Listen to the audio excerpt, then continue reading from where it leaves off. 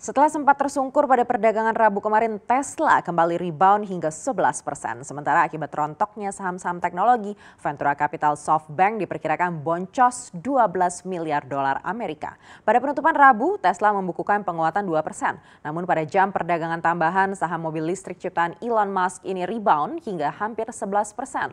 Loncatan ini dipicu kembali menguatnya sejumlah saham sektor teknologi. Dan papan pencatatan Nasdaq membukukan penguatan 2,71 persen yang merupakan tertinggi sejak April. Sementara awan mendung menggelayuti saham SoftBank yang kehilangan hingga 12 miliar dolar Amerika pada perdagangan pekan ini. Saham SoftBank melemah 3 persen pada penutupan perdagangan Rabu dengan market cap 112,1 miliar dolar, jauh dari market cap tiga sesi sebelumnya di angka 124,4 miliar dolar. Selama ini SoftBank banyak membenamkan modal di perusahaan teknologi sehingga adanya market sell-off di sektor ini turut berimbas pada valuasinya.